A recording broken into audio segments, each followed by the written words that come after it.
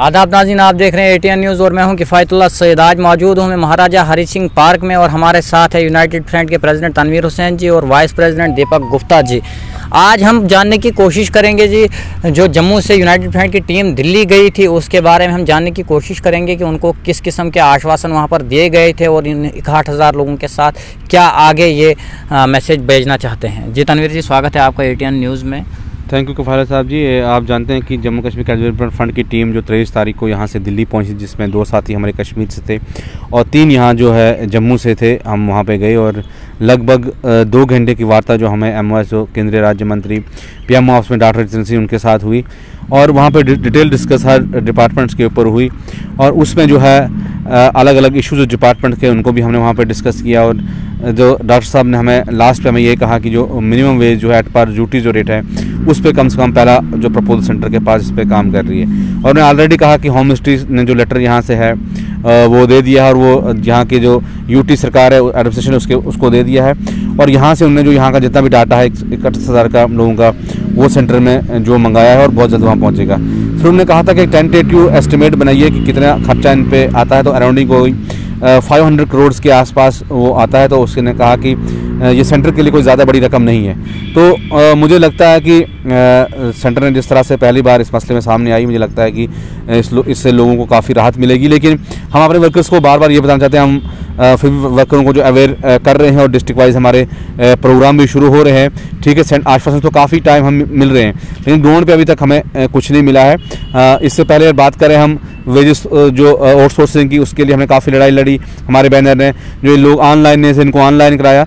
तो अब कहीं ना कहीं जो मिनिमम एक्ट के ऊपर भी हमारी टीम जो है काफ़ी अर्से से काम कर रही थी। और फ़र्स्ट हमारी एसोसिएशन जो इससे पहले भी लास्ट 2019 में जो दिल्ली गई थी, और वहाँ से जब मिनिमम वेज एक्ट के नए रेट जो ड्यूटी बंद नए रेट जो हमने लाए थे, और वहाँ यहाँ पे कोशिश की थी उनको हमें इम्प्लीमेंट कराने की, लेकिन उसके बाद वो यहाँ इम्प्लीमेंट नहीं हुई दोबारा से फिर कोर्ट वेजेस जो बना और दोबारा से जो पार्लियामेंट में डिस्कस की हुई, अब उसके बिल पर भी साइन हो चुके हैं और मुझे लगता है आपकी मिनिमम वेज से जो पहले एक हज़ार लोगों को लाया जाएगा, इसके लिए ऑलरेडी एजेंसीज यहाँ पर जो है वेरिफिकेशन कर रही है।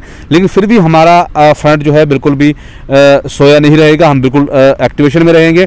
और इससे संदर्भ में हमने जो डिस्ट्रिक्ट वाइज अवेयरनेस कैंप भी चलाए हैं कि कई लोगों को कोई परेशानी डिस्ट्रिक्ट लेवल्स पे हैं उनको देने के लिए पहला प्रोग्राम जो हमारा पाँच तारीख को जो है हमारा रियासी में हो रहा है, रियासी डिस्ट्रिक्ट में हो रहा है। तो मैं आपके चैनल के ज़रिए से वहाँ डिस्ट्रिक्ट रियासी से पढ़ने वाले जितने भी डिवीज़न से जितने भी डिपार्टमेंट्स के डिलीविजर्स हैं, साथी उनसे ये अपील करता हूँ कि वो रियासी सुबह साढ़े दस बजे पहुँचें। और कल हमारी गांधीनगर ग्रीनबर्ड पार्क में एक आल डिपार्टमेंट प्रेजिडेंट्स की मीटिंग भी होने जा रही है। तो बिल्कुल भी हम जो बैठे नहीं है, हम भी संघर्ष में जा रही है। जब तक इंसाफ नहीं मिलेगा, जब तक मिनिमम एक्ट ऑफिशियली तौर पर ऑर्डर नहीं होता है, तब तक हम भी नीचे नहीं बैठेंगे। हम किसी न किसी तरीके से लैंडलाइट में इस मुद्दे को उठाते रहेंगे। जी, कल जो के के शर्मा जी यहाँ से इस्तीफ़ा उन्होंने दिया और वो इलेक्शन कमिश्नर चले गए हैं तो बहुत सारे लोगों के ये सवाल आते हैं कहीं ना कहीं कि आप डेलीविजर मत, उनका जो मसला है फिर से रोका जाएगा तो इस पर कुछ देखिए वाले साहब के के शर्मा जी या ट्रांसफ़र होना एक नेचुरल सी बात है, यहाँ पे कुर्सी तो वहीं पे है, लेकिन बंदे ट्रांसफ़र होते रहते हैं, कोई नई बात नहीं थी। और हालाँकि हमारे जो स्टेट लेवल के कुछ मुद्दे थे, जिन पर हमें डिस्कस यहाँ पे करनी थी, उसमें हमारे सीजनल लेबर्स का इशू है, हमारे बारह ओनर्स का है लैंड ओनर्स का अनपे लैंड ओनर्स है आई जी एफ़ सी है, उनके कुछ मुद्दे थे जो हमारे साथ ही टूरिज़्म के आउटसोर्सिंग में आए थे। उनके लिए कोई मीटिंग उनके ऊपर थी, लेकिन वो अचानक से ट्रांसफ़र हुई है तो अब जो जैसे नया गवर्नर उस कारभार को संभालते हैं तो इंशाल्लाह मीटिंग हमारी उनसे होगी। इसमें लोगों को परेशान होने की ज़्यादा बात नहीं है। और जहाँ तक ये मसला, ये सेंटर और एलजी के दरमियान है तो वहाँ डॉक्टर एजेंसी ने सताईस तारीख को जिस दिन मीटिंग हमारी गांधीनगर में हुई थी उसी दिन देर गए जो लेटर है यहाँ एलजी साहब को भी उसके ऊपर आई है। तो मुझे लगता है कि सरकार जो है इसमें सीरियस है और इसमें सेंटर का डायरेक्टली जो इंटरफेयर अब हुआ है तो इसमें नहीं लगता कि उसकी ट्रांसफ़र से कोई इस मुद्दे को कोई ज़्यादा फ़र्क पड़ेगा। कल कश्मीर में कुछ डेली को अरेस्ट किया गया है उन्होंने हड़ताल की थी उनको पे नहीं मिलती है। तो सरकार एक लापरवाह सा स्टेप ले रही है इसके ऊपर पहली बार डेली को अरेस्ट किया गया है। देखिए ये बहुत निंदनीय बात है। और इसका हमने खंडन रात को ही एक चैनल पे मैंने किया था और हम इसी पुरजुमोर मजम्मत करते हैं। मजम्मत नहीं, बल्कि अगर इसके लिए हमें रोडों पर उतरना पड़ेगा, हम उतरेंगे इसलिए क्योंकि वर्कर चाहे यूनाइटेड फ्रंट के साथ जुड़ा है या नहीं जुड़ा, ये यहाँ मैटर नहीं करता है। किसी भी, चाहे कश्मीर या कहीं जम्मू में किसी भी साथी को, अगर एडमिशन तरफ़ से उसकी आवाज़ को दबाने की कोशिश की जा रही है या उसको अननेसरी हरासमेंट किया जाता है, इसके लिए जम्मू कश्मीर का कैजुअल फ्रंट उस वर्कर के साथ खड़ी है, खड़ी रहेगी और आगे भी ऐसा कोई आता खड़ी रहेगी। इसलिए हम जो वहाँ पे एफ़ को लगी फौरी तौर पर उन एफ़ को हटाया जाए। अगर ऐसा एडमिनिस्ट्रेशन नहीं करती है तो इसके लिए भी हम, जो भी हमारा स्टेप जो अपने कश्मीर प्रोविंस के जो हमारे लीडरशिप मेरी रात को उनसे बात टेलीफोनिकली हुई है तो मैंने कहा जैसे भी एस्टिम स्टेप उन लोगों के लिए उठाना पड़ेगा, उसके लिए हम तैयार हैं। क्योंकि अपने वर्कर के साथ आम वर्कर जो भी हमारा है, चाहे वो किसी भी संगठन के साथ कहीं पर भी जुड़ा है वर्कर से उसके साथ कहीं भी कोई परेशानी आती है, उसके लिए जम्मू कश्मीर का तमाम लीडरशिप जो उसके साथ खड़ी रहेगी।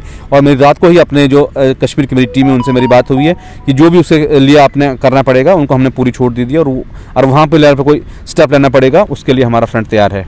तनवीर जी आपके ख़िलाफ़ कुछ लोग जो हैं बातें करते हैं टिप्पणियाँ करती है उनके बारे में हम नाम नहीं लेना चाहेंगे उनके बारे में कोई मैसेज?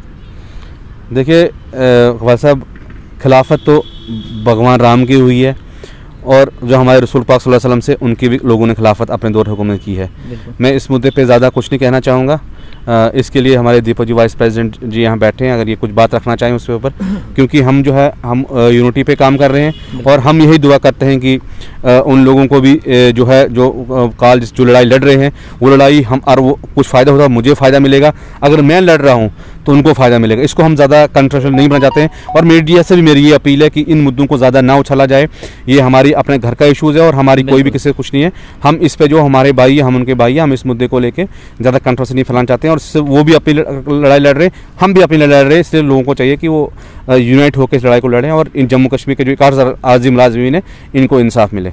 बहुत बहुत शुक्रिया। दीपक जी आप कुछ मैसेज देना चाहेंगे जो आर्जी मुलाजमी इकहठ हज़ार मुलाजमी जिन लोगों की आप लड़ाई पिछले पाँच साल से लड़ रहे हैं? देखिए मैं ज़्यादा नहीं कहूँगा इतना बोलूँगा मैं। अपने सभी मुलाजमों को ये मैसेज देना चाहता हूँ कि मुलाजम घबराएँ ना मुलाजम परेशान ना हों हमारी एसोसिएशन जो बनी थी तो हमारी एसोसिएशन इसीलिए बनी बनाई गई थी कि डेली वेजर को उनके हक दिलवाना उनको इंसाफ दिलवाना। तो हमारी एसोसिएशन अपने तरीके से काम कर रही है। रही बात आपने कहा कि खिलाफत कर रहे हैं कुछ लोग तो ये बातें कोई बहुत मायने नहीं रखती हैं तो मैं उन साथियों को भी मैसेज देना चाहूँगा। कि ये सही वक्त नहीं है एक दूसरे की खिलाफत करें हम हम लोग। इस टाइम अगर हमें मुलाजमों ने साथ दिया है, मुलाजमों ने हमें ताकत बख्शी है कि हम संघर्ष कर रहे हैं तो हमें उस संघर्ष का सही उपयोग करना चाहिए। हमारा संघर्ष सरकार के ख़िलाफ़ है, ना कि हमारा आपसी कोई आपसी कोई कोई लड़ाई है। हो सकता है आपसी कुछ मतभेद हो, उसको हम बाद में भी सुलझा सकते हैं। बहुत वक्त पड़ा है, बहुत समय है उसके लिए। बट इस टाइम हमें नहीं लगता कि ये वक्त सही नहीं है कि मुलाजम की इतनी उम्मीदें बनी हुई हैं। काफ़ी सारे मुलाजम फॉलो करते हैं हमें भी बाकियों को भी करते होंगे। तो हमारा सब यही एक अपील है एक रिक्वेस्ट है एज ए ब्रदरली वो भी हमारे भाई हैं। तो हम यही कहना चाहेंगे कि इस टाइम अगर आपका कोई स्ट्रगल कर रहे हो आपका फोकस सरकार की तरफ़ उन मुद्दों की तरफ़ होना चाहिए जिनको लेकर आपने मुलाजमों को जोड़ा है इकट्ठे रखा है और जो मुलाजम आपका साथ दे रहे हैं। तो इतना ही कहना चाहूँगा।